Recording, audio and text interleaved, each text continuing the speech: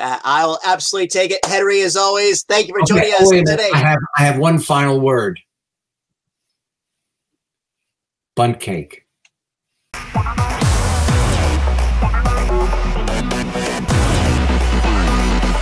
Welcome, friends and fans, to another edition of GalaxyCon Live, where we are bringing the convention experience directly to you. And today we are speaking with an incredibly talented guest. So without further ado, let's cruise on down to Arnold's and pick him up.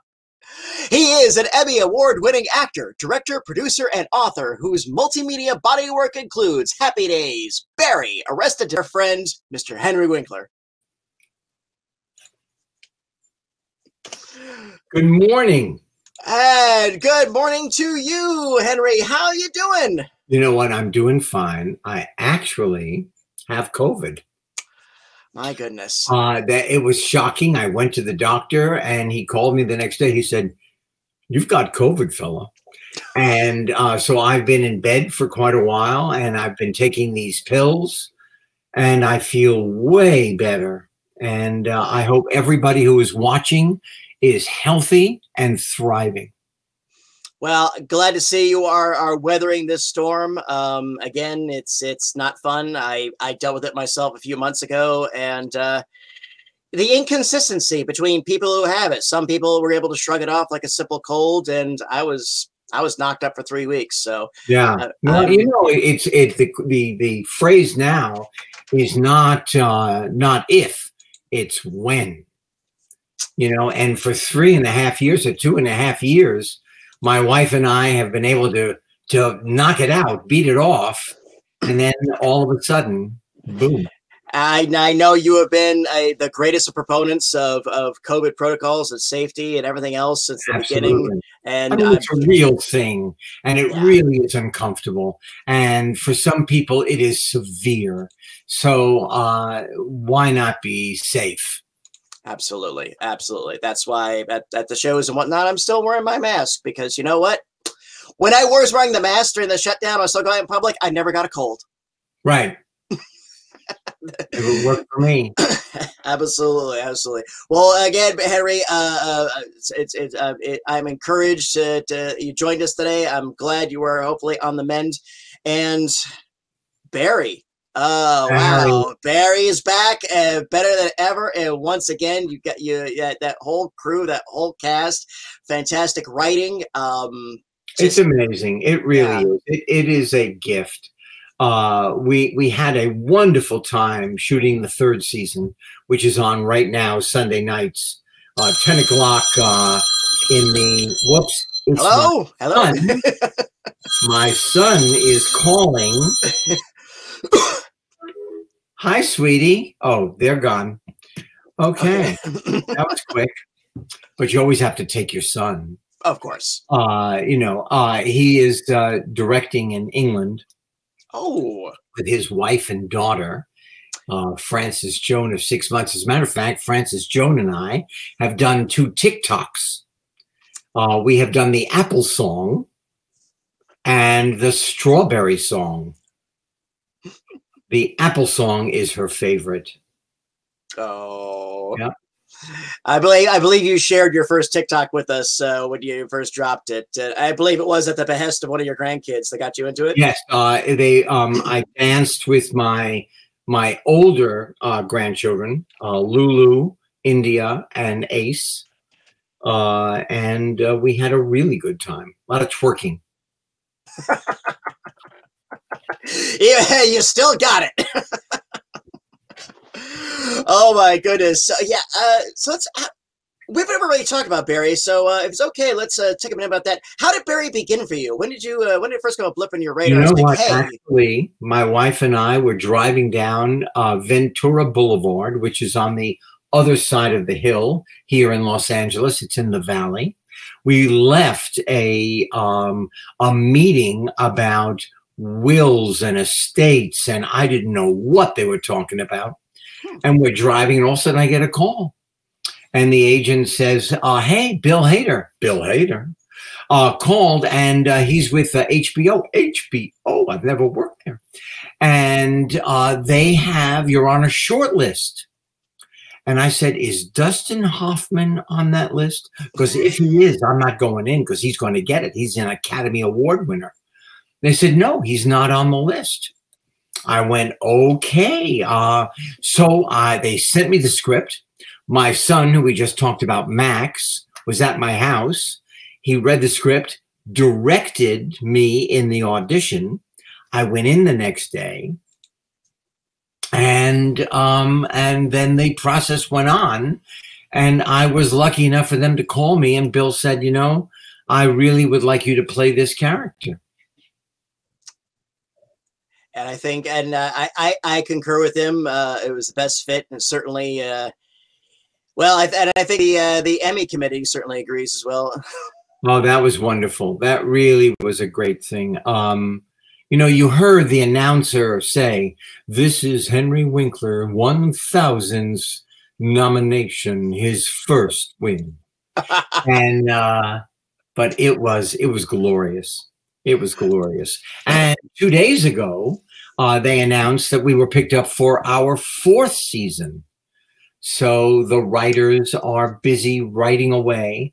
Uh, if you haven't caught up, there are two, uh, season one and two, there are eight episodes each season, and I believe that it will delight you. It is a serial comedy about a hitman who wants to be an actor, and I'm his acting teacher. Uh,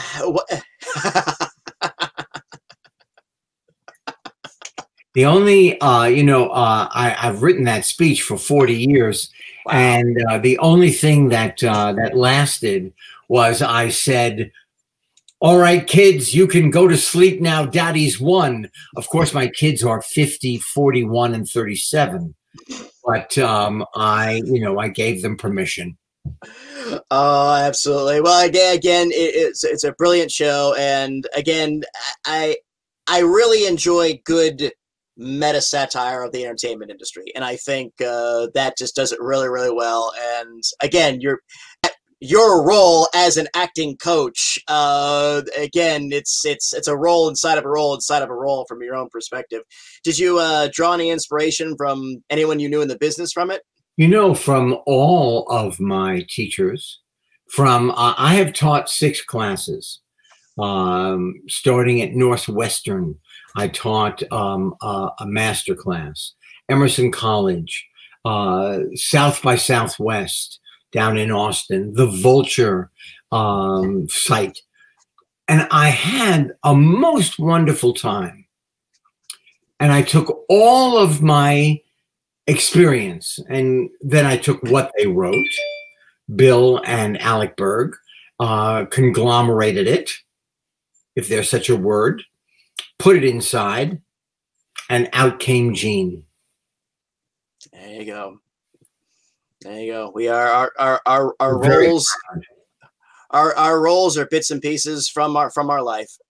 But that is really true. That's what acting is about. Acting is being a mirror, because we are all the same, actually, is being a mirror that holds up to the um, uh, society at large so that we can see who we are, what we're doing, where we could go, uh, what we could change.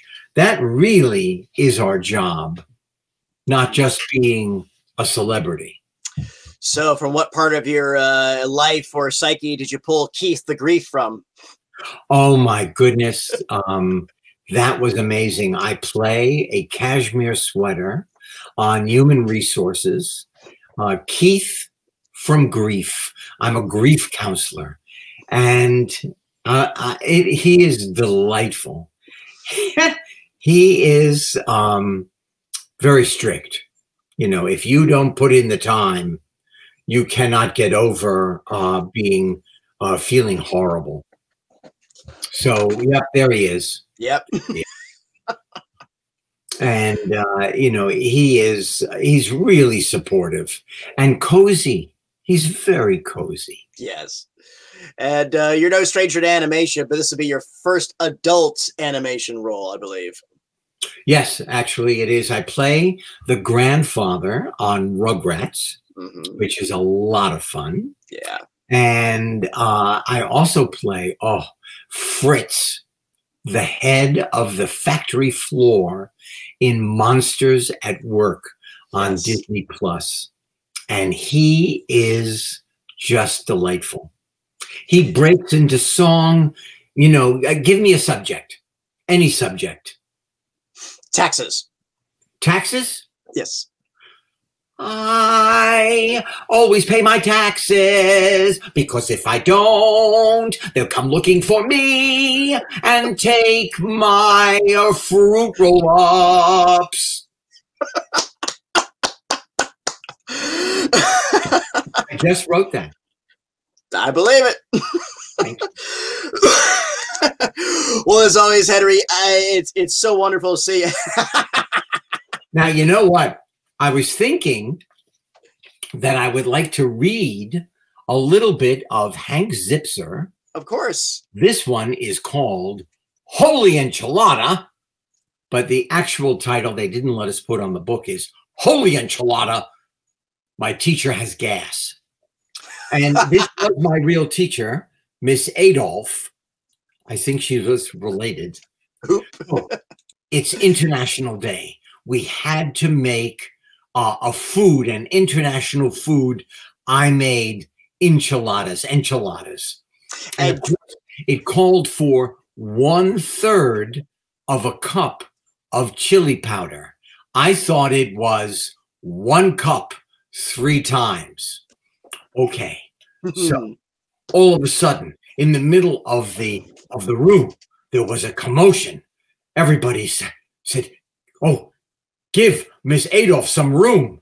Give her some room." People had gathered around. Step away. Give me some air. When the parents moved away, we saw what they were surrounding was Miss Adolf. She didn't look good. Well, not that she ever looks good, but at this she did not look good at all. Her face was turning bright red. I had never seen that color in a face before. The next thing we knew, Miss Adolf let out a noise that wasn't human. It was not a sound I had ever heard before. It was somewhere between a cough, a hiss, and a gasp. Water! She gasped. I need water! She sounded like the Gollum from the, the Lord of the Rings. She was hissing pretty loudly, and all of a sudden, her face looked like a tomato that was ready to explode. She started to move across the multi-purpose room like she had a rocket under her skirt. You go, girlfriend, my best friend Frankie whispered under his breath. Ashley burst out laughing. I didn't want to laugh, so I concentrated on just smiling very, very hard. I mean, sometimes you got to keep a, a laugh inside. Oh, what's happening to that poor woman? Mrs. Moriarty wanted to know. Must have been something she ate, Principal Love said. Then he turned and looked directly at me. I hope it wasn't your enchilada.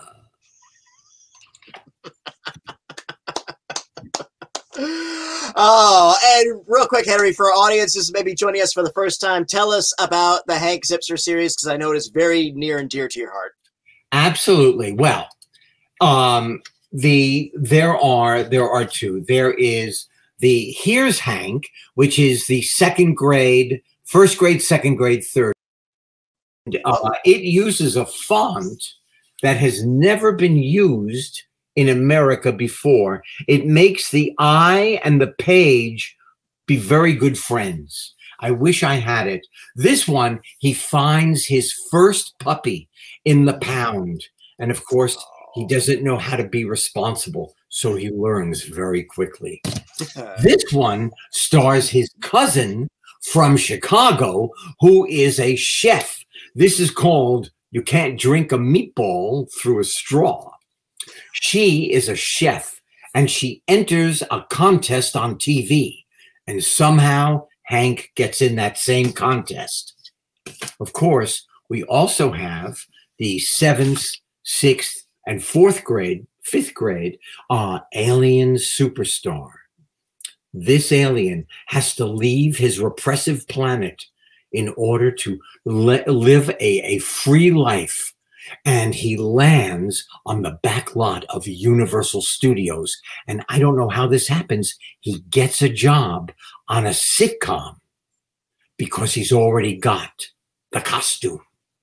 And it is about really uh, the un- and it also stars uh, a young girl who is the star of the sitcom, who's a singer.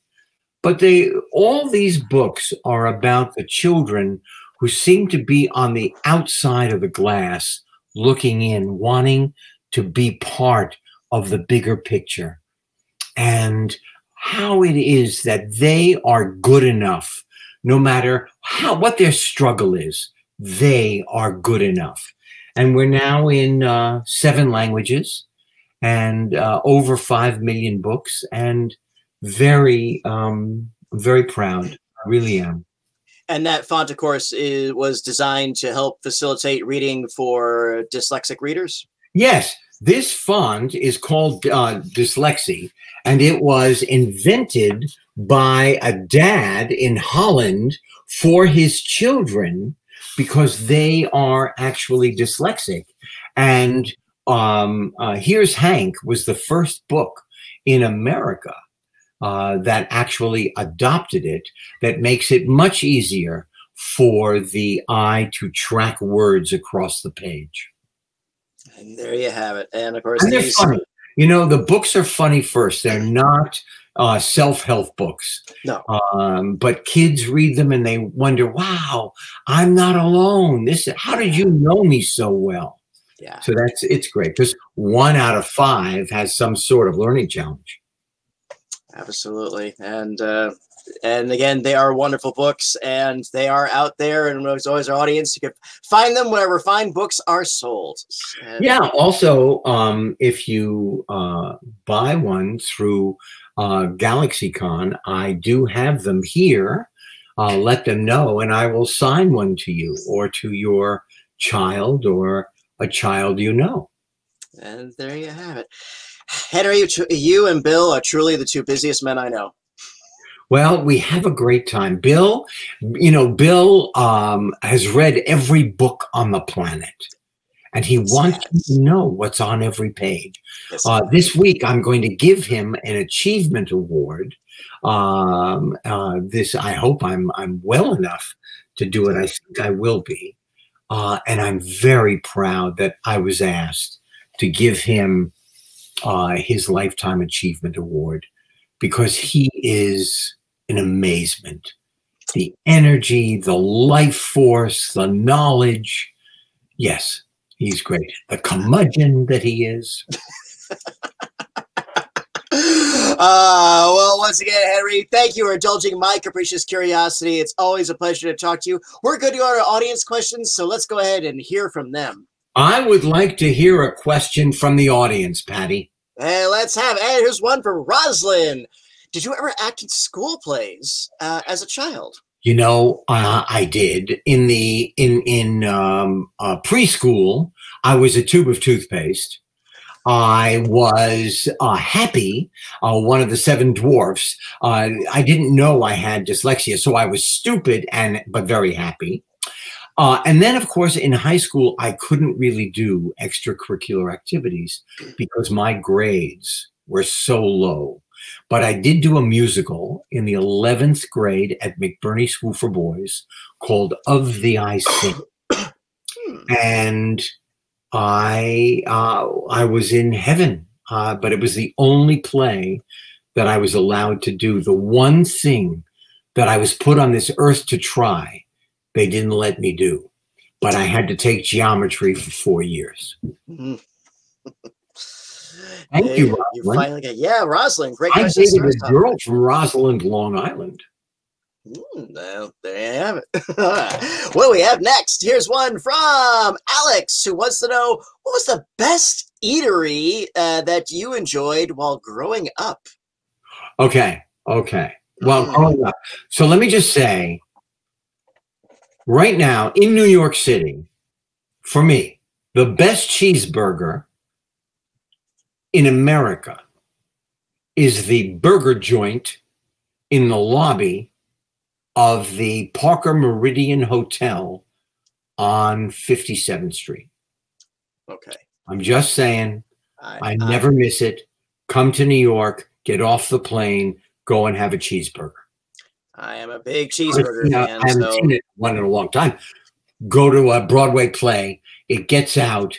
We walk directly because it closes at 11 Mm.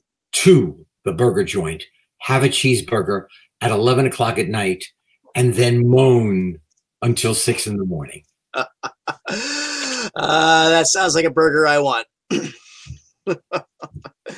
oh, there you have it. So that's that's that's the place now. Was there a favorite place you had as a kid?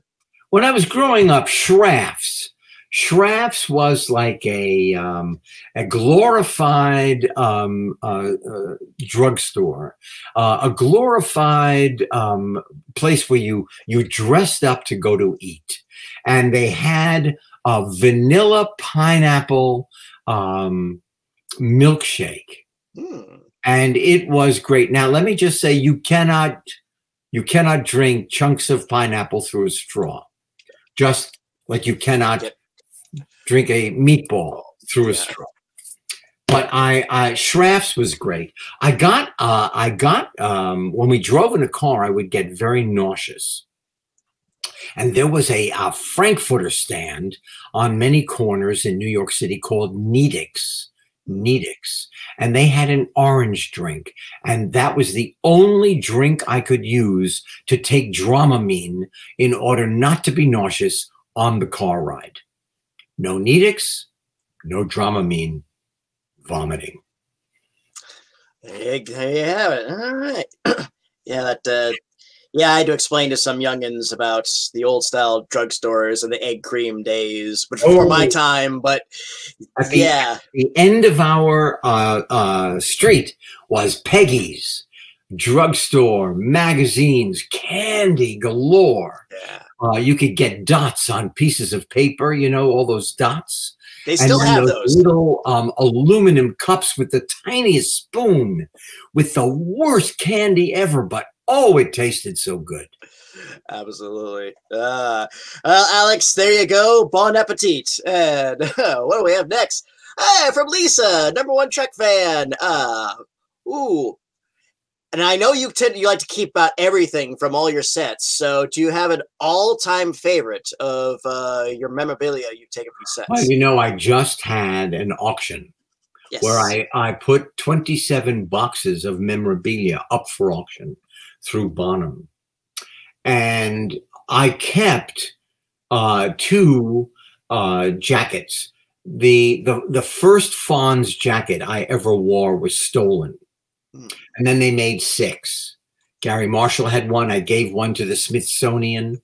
Yes. Uh, I had uh, we ripped the lining out of uh, one of them for me to jump the shark, and then uh, then I there were three left, and I have two of those. One I put up for auction last December. I would have to say, not only the jackets, but the softballs. I played softball for the Happy Days team. I never played ball before. I never had good eye hand coordination. And I saved the softballs that I pitched uh, high winning scores. There you have it. there you Oh, this is a left field question of my own, but I, I keep forgetting to ask you. Who has the the prop that, of the dead man's gun? I do. You Uh, do. I, the actual gun. Yeah. Yes, I have the I have the rubber gun from the Dead Man's Gun, which was 44, uh, 44 episodes of um, uh, 1786. Uh, whoever picked up this pistol, uh, their life was changed forever. Then either it was shot out of their hand, they were killed, or they just gave it away. But whoever picked it up again, their life was um, completely changed. Again, a wonderful series. Thank Absolutely you. wonderful anthology Great series. storytelling. Yes, and uh, your episode as the Hangman, I, I think is one of my favorite performances of yours. Thank you. I, I went from a button salesman to the sheriff of a town. yeah, I had the gun. absolutely. Yeah, Lisa, as always, great question. Thank you for that. Yeah, what do we have next? Mike from Chicago. As an avid angler, what has been your most memorable fishing experience? Mm. I was very lucky. Years ago, I went. Now, there is great fishing in America, but I was lucky enough to go. Um, now, here's why it's terrific to be a celebrity. They call you up and they say, Hey, want to go to New Zealand? We'll outfit you. You can bring your son. We'll put you up. We'll dress you and you'll fish for 10 days. Another trip I took was to uh, Argentina, the southern tip of Argentina, Rio Pico. Oh my goodness. The fish were so big, you could have ridden them back to LA. Wow. Wow. Wow. And you and you still gave him a kiss and let him go? Gave him a kiss and let him go. yeah, the, the trout are too majestic to uh to keep or to harm. There you have it. Mike from Chicago. Thank you. Wonderful question. Ah, what's next? From Fred. Would you ever consider turning uh, your books into an animated series? Sure. Uh, we're trying right now to turn Alien Superstar. It's actually a trilogy, there are three of them. And uh, we are uh, trying to turn them into an animated show or um, a feature. Uh, it doesn't matter, but it, it's a great story about an alien here on Earth what happens if people find out who he really is? Will they still like him? Mm. That is a dilemma that children deal with all the time. If you knew the real me, would you still be friends with me? Yeah. Yeah. Yeah. That's that is a conundrum. Yeah, there you have it. There you have it, Fred. So stay tuned. uh, what do we have next? One from Alex. What advice can you give to young adults in writing, acting, or coping with a disability? You know what I would say? I would say there are lots of outlets. There are school plays, temple plays, church plays, community theater. Um, there are opportunities in the professional world. But this is what it counts it counts on your tenacity. Be honest about your talent, train your talent, and then take yourself and be in a place where there are opportunities in the first place for you to be a professional. Uh, New York, Chicago, uh, LA. You know, it is hard for everyone, whether you have a disability or not. The challenge is yours. And I will say, trying makes your life so much richer than being afraid. Yeah, I would agree. Very nice. I see we have a new panelist. Who's our uh, canine friend in the background? Well, oh, wait a minute. Oh, hi. this is Maisie. And Maisie is a golden doodle. Oh. Maisie, come on, don't be shy.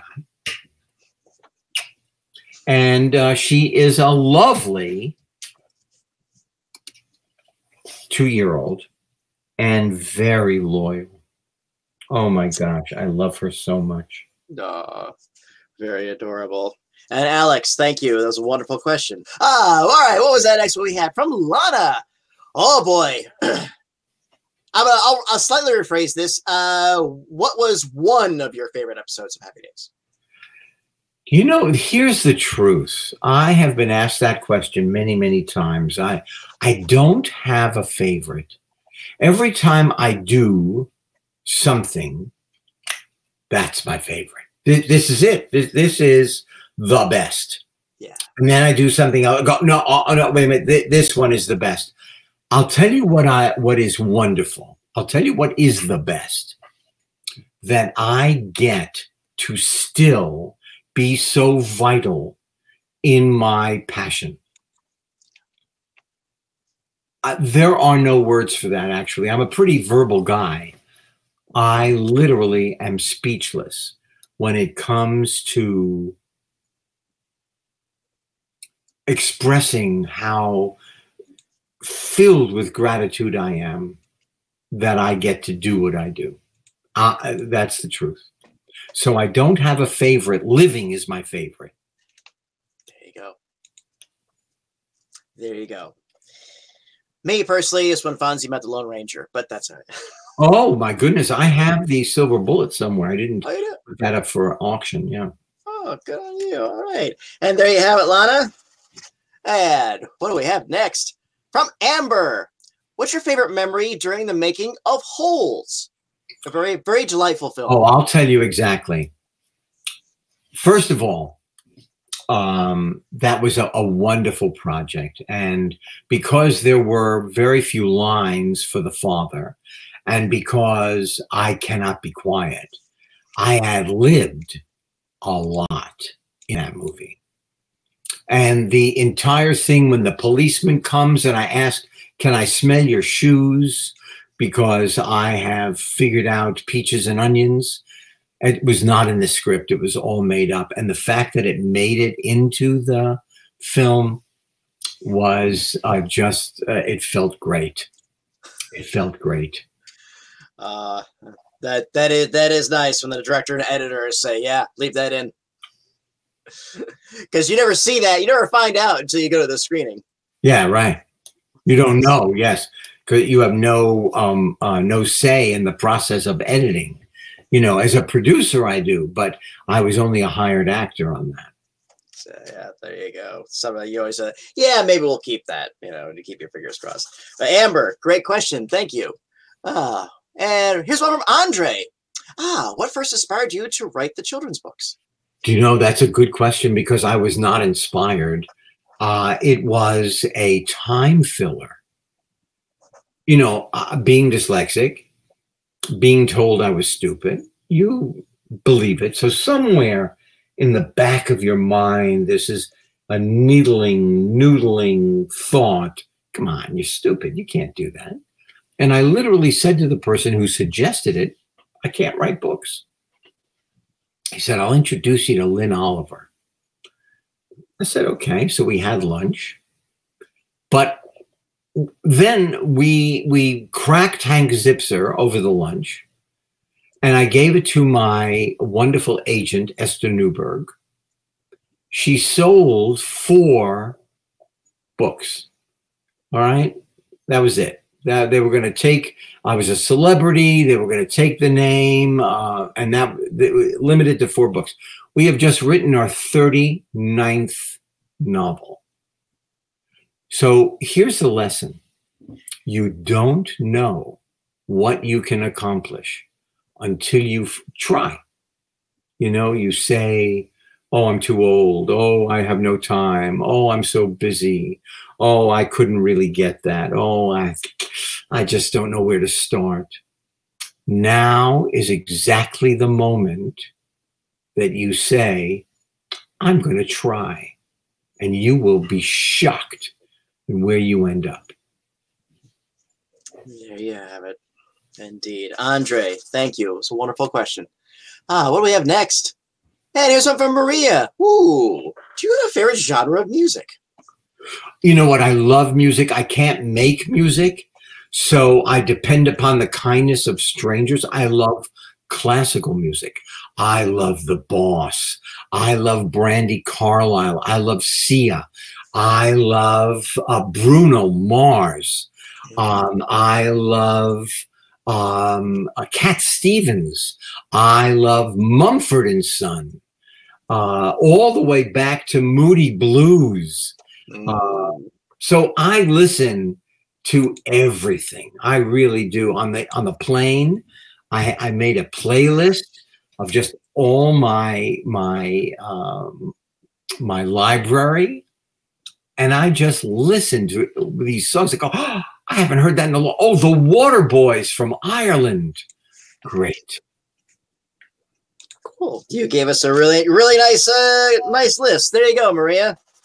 Start hit those up on Spotify. Okay. What do we have next? And here's You know, I don't know how to use Spotify. I've never used Spotify or Pandora.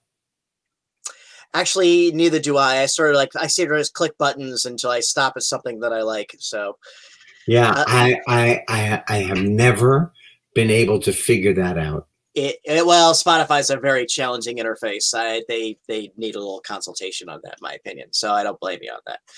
So oh, Brady was so how'd you come up with the names for your books? Now that is that's interesting because Lin Oliver is really obsessed with getting the right title. Because um when a book is on a shelf and you know the book is on a shelf and then the kid takes it down you have 3 seconds for them to make a decision on whether they're going to keep that book or put it back on the shelf. So this one is called the Soggy Foggy Campout. Um, and he goes with um, with his parents to be in the woods, you know. However, there's a storm and it blows their tent away.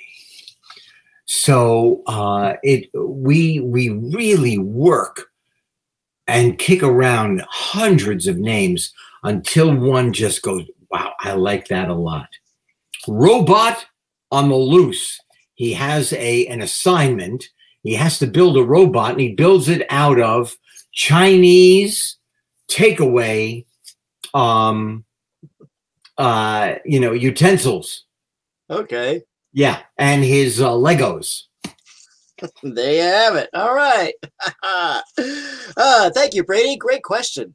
Ah, and what do we have next? His own from Andre. If you could have your own Happy Days restaurant, what would you call it? What would I call it? I would call it I would call it great food. No kidding. There you have it. and I would make sure that we got people uh, who work there who loved making food. And then, you know, because this is what always shocks me. Everybody has um, they they have access to the same ingredients, and then some people make I don't know what bleh out of it, and some people make oh my goodness that is good. I'm not kidding. I You mean, know? yeah, no, you're right. and and it's just a matter of the imagination and the love that goes into making that food And there has been a rise in the past decade at um, cooking is falling back into more of an artisan type thing. A lot of people are discovering cooking for the passion of it as a craft and an art, as opposed to And assembly line. uh, since i don't really do it i'm very grateful Mhm. because there is nothing like sitting down and having a good meal So if I so when I go into uh, I go into your restaurant, I will be able to order a pineapple milkshake, right? good food no kidding Mm. Thank you, Andre. Fun question. Ah, I think we had time for one or two more. Let's see what we have. And here's one from Jolene. Oh, well, I know game shows. I know, I know you certainly have a relationship with one. If you could be on any game show, past, present, or future, what would it be? Well, Michael Levitt and I co uh, executive produced Hollywood Squares for two years, and it was just incredible. If we filled, Claudia Kagan helped us uh, as our casting person fill the eight slots or the nine slots. And if we did that correctly, I had to change my underwear. It was so funny. We put Big Show, the wrestler who didn't fit Yeah. in the square, next to Mama uh, uh, and Vicki Lawrence. Yeah. And you know, there was no wall between the uh, the uh, the squares, and every time he answered, she would beat him to a pulp with her purse. And it, we didn't plan it. We didn't ask her. She just. It, I, I'm telling you, to this day, when I think about it, I I wet my pants. uh, yeah, great run, absolutely great run. Uh, Jolene, thank you. That was a fun one. I think we have time for one more. Let's see what we can go out on a really wacky one. Here's one from Cherry. If you woke up with a superpower, what power would you have and what would you do with it?